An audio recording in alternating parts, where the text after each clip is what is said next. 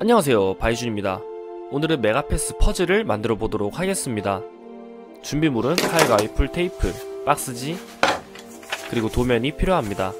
만들어 보도록 하겠습니다. 먼저 나중에 사용할 부분을 분리해 줍니다. 그리고 테이프로 박스지에 도면을 고정해 줍니다. 아까 분리한 도면을 잘라줍니다.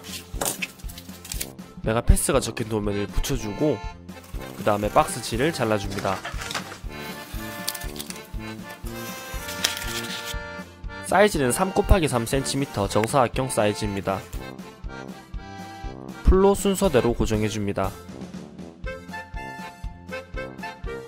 위에 메가 스터디 로고를 붙이고 퍼즐 조각을 넣으면 완성입니다. 이 퍼즐이 보기에는 쉬워 보이지만 실제로 해보면 엄청 어렵습니다. 지금까지 바이준이었습니다. Complete Me 메가패스